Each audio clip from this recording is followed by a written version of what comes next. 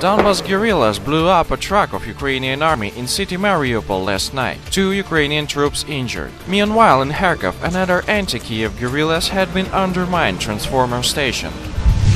Militia's forces have repelled another attack on their positions, with the Ukrainian army attackers suffering losses. Ukrainian army forces shelled with mortars and attacked with small arms the fortifications of the militia's forces near the village of Mius. The attack was successfully repelled.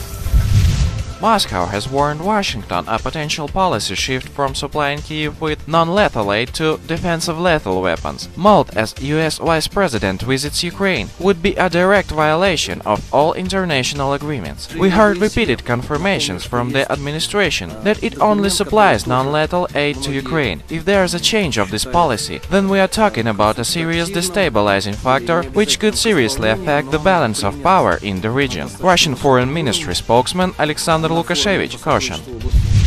NATO is concerned over increased Russian air activity over Europe and is ready to defend its allies against any threats, NATO Secretary General Jens Stoltenberg said during his visit to Estonia. Thanks for watching. Subscribe to our YouTube channel to receive up-to-date news on situation in Ukraine.